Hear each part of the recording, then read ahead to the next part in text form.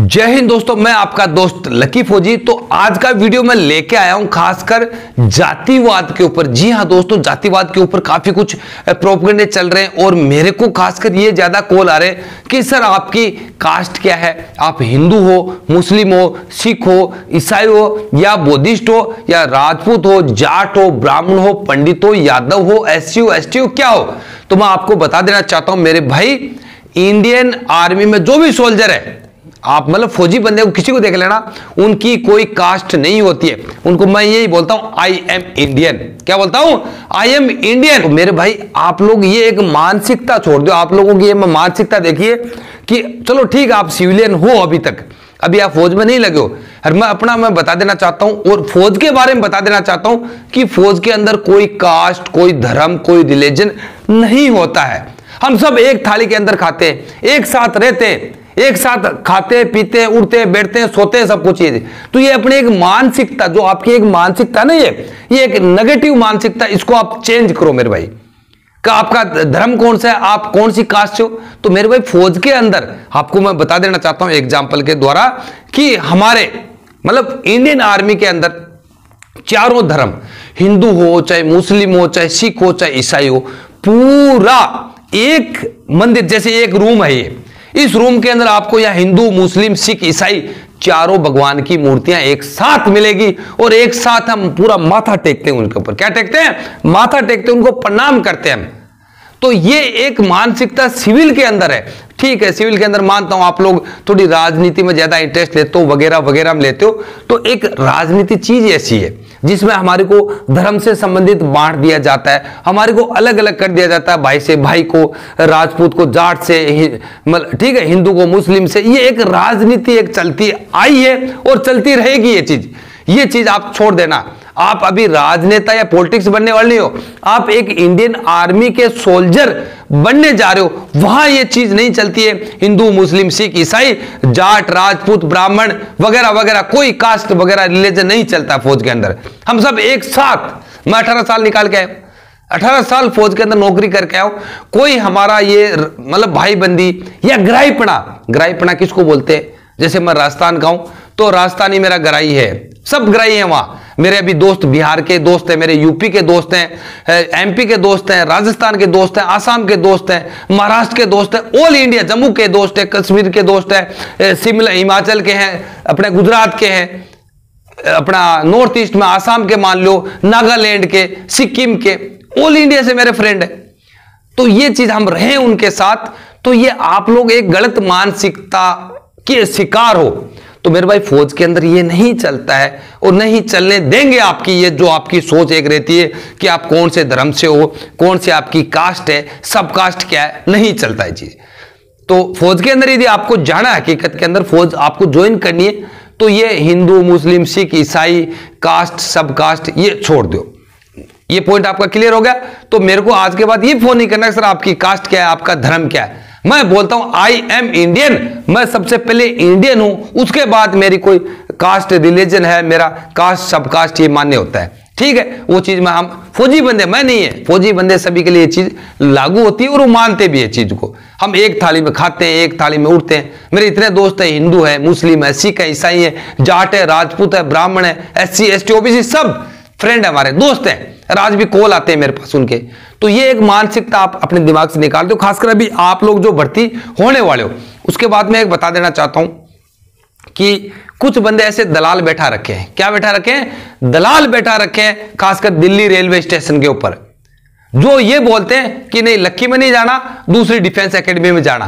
तो मेरे भाई, आप इसी से अंदाज़ा लगा सकते हो कि यदि मैं अपना दलाल वहाँ बैठा था, मैं अपना बंदा वहाँ बैठा था कि नहीं यार, इस एकेडमी में लकी डिफेंस एकेडमी जाना तो इसका मतलब क्या है? मेरा स्तर गिरा हुआ है। तब मैं वहाँ मैंने बंदा बैठा रखा है। आप समझदार हो। समझदार के लिए इशारा काफ़ी होता है।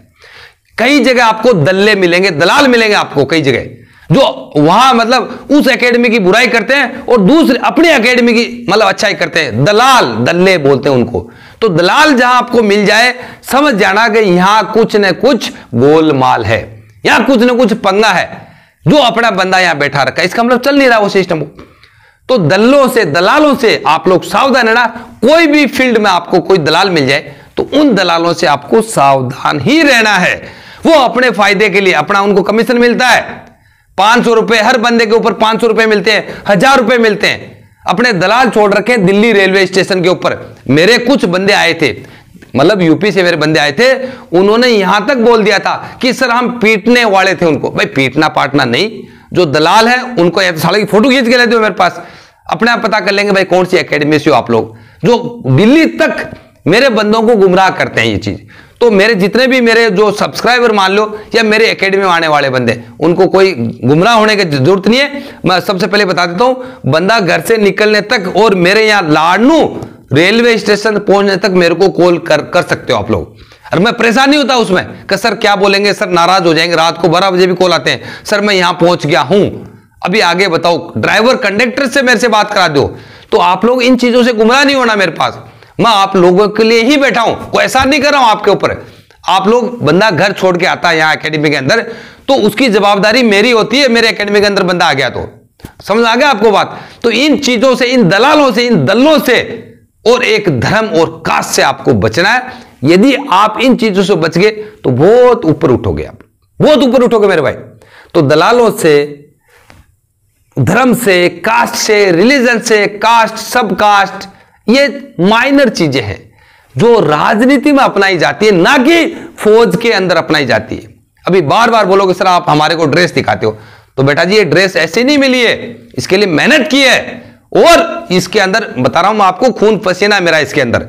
मेरे अंदर नहीं है। जितने भी फौजी बंदे हैं, जब एक बार ड्रेस पहन के देखो इसको, मांगी हुई ड्रेस की नहीं बात कर रहा, अपना फौज में लग के ड्रेस पहनो, तब आपको एहसास होगा कि एकदम चेस्ट सीना फूल जाता है आपका अंदर, एक जोश आ जाता है।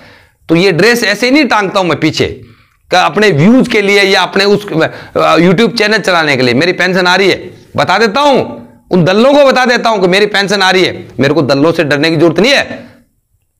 तो इन दलालों से इन सावधान रहना मेरे भाई, खासकर जो नौजवान अभी फौज में लगने वाले हैं, जो तैयारी कर रहे हैं। आपको कुछ मीठी मीठी बातें या बड़े जोश में बोल देते हैं, उनके चक्कर में पड़ जाते हो, वो सारा अपना फ़ायदा देख रहे हैं। अपना फ़ायदा उसके चक्कर में आपकी ज़िंदगी खराब कर देते हैं। अरे मैं तो बोलता हूँ, लगा के दिखाओ। अरे मेरे को ऐसे ऐसे बंदे देखता हूँ, वो दुख होता है। कि ऐसे ऐसे बंदे लगने वाले थे लेकिन नहीं लगे। अपने फ़ायदे के लिए उन बंदों का इस्तेमाल किया और चूसा और बार फेंका दिया उनको। ऐसे ऐसे बंदे भी देखे, मैं भी पूरा बताना नहीं चाह रहा हूँ मैं। मेरी भी कुछ कानून शर्तें, मैं कुछ ज़्यादा डिटेल में नहीं बता सकते चीज़ें। क्योंकि मैं ईमानदारी होने के नाते, नहीं तो ऐसी ऐसी बातें बोलूँगा ना तो आप लोग अचंबित रह जाओगे, सर, ये क्या बोल रहे हैं आप? शिवरतन सर, क्या बोल रहे हो आप लोग? तो मेरा कहने का मतलब है कि आप लोग ज़्यादा इस्तेमाल मत हो उन चीज़ों के अंदर। आपका इस्तेमाल किया जाता है और बाहर फेंका दिया जाता है जैसे उनका काम निकला, बोला, आउट! तो ऐसे नहीं, आप यदि फौज की तैयारी करो तो फौज के हिसाब से आप लोग तैयारी करो। और अगले से पूछो, हज़ार सवाल करो यार आप लोग। हज़ार सवाल करो उससे।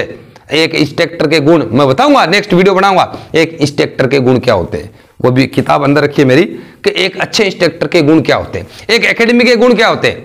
तो उन चीज़ों को आप लोग ध्यान रखो। ये हवा हवाई बातों में, इन लड़ाई झगड़ों के चक्कर में नहीं फंसना। ठीक है ना? सब अपने काम में लगे हुए हैं। सब अपना मतलब से मतलब रखे हुए। अरे, समझ में आ गया? एक ऐसा फौजी आया था मैं, आज से दो साल पहले, और काफ़ी कुछ आपको हकीकत बता गया। बंदों को आज तक नहीं बताया कि आपकी भर्ती कहाँ आती है? Join Indian army dot N I C dot in मैंने पहले वीडियो बनाया है शायद आप लोगों को पता होगा कि पहला वीडियो मैंने बनाया ये, कि आप लोगों को कहीं फ़ोन करने की ज़रूरत नहीं है, कहीं गुमराह होने की ज़रूरत नहीं है। इसके ऊपर देखो आपकी पूरी भर्ती आ जाती है। मज़ाक नहीं करा, उसके बाद में मेरे हज़ार कॉल आते थे, पचास, सौ कॉल लेकिन जिन बंदों ने वीडियो नहीं देखा था वो चीज़। ऐसी ऐसी बातें, ऐसा मेडिकल अरे मेडिकल कौन कर देगा आपका? जिसने आज तक फौज ही ज्वाइन नहीं किया, वो आपका मेडिकल कैसे कर देगा बताओ मेरे को। बंदों से पूछता है वो बंदा कि मेडिकल कैसे किया जाता है। और आपको वीडियो बना के दिखा रहा वो तो ये गलत चीज़ है। गलत चीज़ के लिए मैं हमेशा आपके साथ हूँ, उसकी टेंशन लेने की ज़रूरत नहीं है। लक्की फौजी, उर्फ़ शिवरतन सिंह आपके साथ है। आपको घबराने की या टेंशन लेने की ज़रूरत नहीं है। वीडियो अच्छा लगे तो लाइक कर देना। ज़्यादा ज़्यादा शेयर कर देना। यदि आपका दिल चाहे तो। आपका दोस्त लकी फौजी आपके लिए और भी अच्छे अच्छे वीडियो लेता रहेगा। जय हिंद, जय भारत। जिस भाई ने अभी तक मेरे चैनल लकी डिफेंस एकेडमी को सब्सक्राइब नहीं किया सब्सक्राइब कर लेना। और भी मैं आपके लिए अच्छे अच्छे वीडियो लाता रहूँगा। आपका दोस्त लकी फौजी जय हिंद, जय भारत।